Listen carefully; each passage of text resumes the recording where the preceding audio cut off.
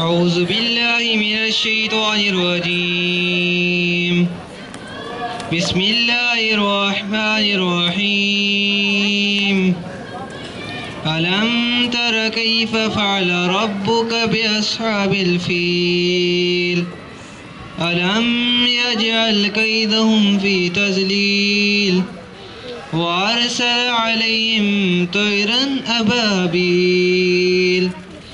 ترميهم بحجارة من سجيل فجعلهم كعصف مأكول.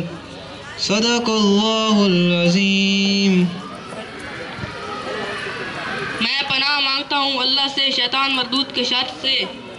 شروع اللہ کے نام سے، جو بڑا مہربان نہایت رحم کرنے والا ہے۔